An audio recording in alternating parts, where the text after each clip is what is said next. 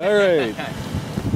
All right. Hello, here's the bull. And the goat? All right, we're in Port aux Basques. Uh, we just got off the ferry last night. It was running late, so we got in real late and uh, couldn't go anywhere because apparently there's lots of moose.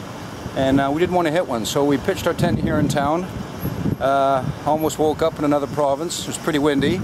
So anyways, here we are this morning. Once again, it's misty, and we're down at the local Tim Hortons. Um, yeah, by the way, Port aux Basques, that's in uh, Newfoundland and uh, we're on our way to St. John's. But we're down here in Tim Hortons, and we ran into a couple of uh, fellow adventurers. And um, I took off, uh, pitched, uh, rolled the tent up, came back, and one was uh, engrossed in a you know, conversation here. So, anyways, we're going to introduce you to them, and uh, our hats off to these guys because they're getting out there and they're doing it. Woo! All right. So over here we have Steve, and we have JD. Hello. Okay, and these guys came over last night on the same ferry, and uh, it's kind of interesting because we got the ferry out of uh, North Sydney, 11.30 in the morning. We got out 40 minutes, and the captain said, right, we've got to go back. Things ain't running right. So we went back, we hung around till 5 in the afternoon, then we came again, which is why everyone got stuck here last night. So you guys, what are you guys up to? We're What's do- the story? We're doing a trip called uh, Road of Wonders. So we're going to Wonders of Canada. And uh, we started in Toronto, then we went to Cape Breton Highlands. Now we're in the Rock, Newfoundland, going up to the Viking settlement. And along the way, it's all about meeting the people and the local wonders. That's part of the journey. That's what we're after. Um, the final wonders are basically just a wrap up. Not really the focus of the trip.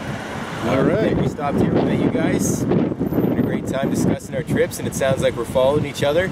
Done the same route, and we'll probably meet again on this trip. So it's been a blast, Yeah. Good. and I love it. I love the rock. First time here on a bike.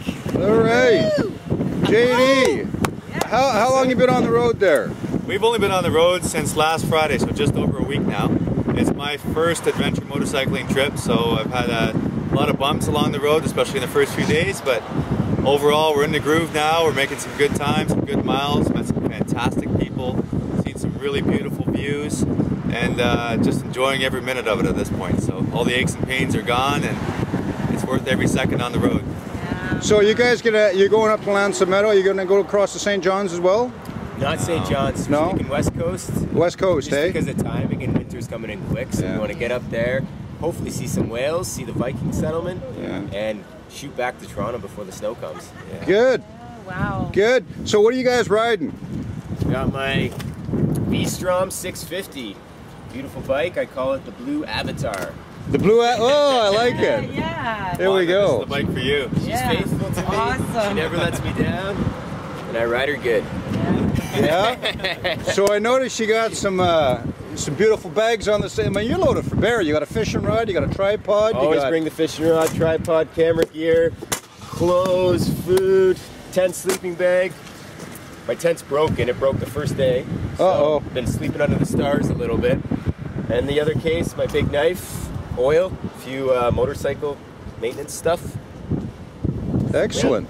And, and how about you, JD? What do you got going on here? I'm on uh, Suzuki SV650. So the both 650s, huh? Both six- Yeah, both Okay. 650s, both 650s.